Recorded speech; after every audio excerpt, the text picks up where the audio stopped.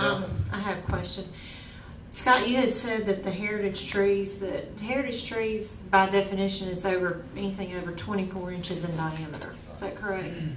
Um, I've looked at the plan, commissioners, and they are saving the largest grove of the trees. Um, there's gonna be a significant amount of trees that will need to be removed to put these houses in there the way, you know, it's designed. Um, but the largest trees are saved.